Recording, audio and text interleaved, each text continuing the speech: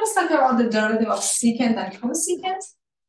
If y is secant of x, it can be written as 1 over cosine of x. Now we can start taking the derivative using, for example, the quotient rule. You can flip this and have negative sign as well, but let us use the quotient rule. The derivative of 1 is 0 times cosine of x minus 1 times the derivative of cosine divided by cosine squared of x. y prime is equal to 0 times cosine x minus the derivative of cosine is negative sine divided by cosine squared of x. So y prime becomes 0 minus minus plus sine x divided by cosine squared of x.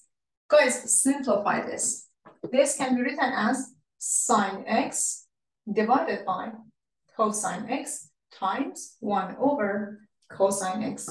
Sine divided by cosine is tangent by definition, and 1 over cosine is secant of x. So if you have secant of x, the derivative of secant is secant tangent or tangent secant. The order is not important. With the same argument, we're going to find the derivative of cosecant as well. So if y is equal to cosecant of x, this is 1 over sine of x. Again, you can apply the quotient rule.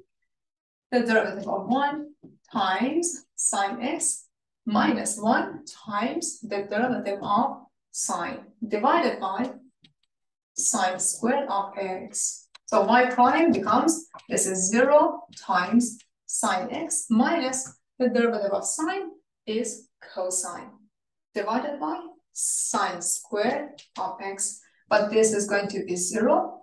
y prime becomes negative cosine x divided by sine squared of x, which is, well, negative cosine x over sine x times 1 over sine x, which is nothing but negative cotangent of x times cosecant of x. So if y is cosine, cosecant of x, then the derivative y prime becomes negative cosecant of x times cotangent of x.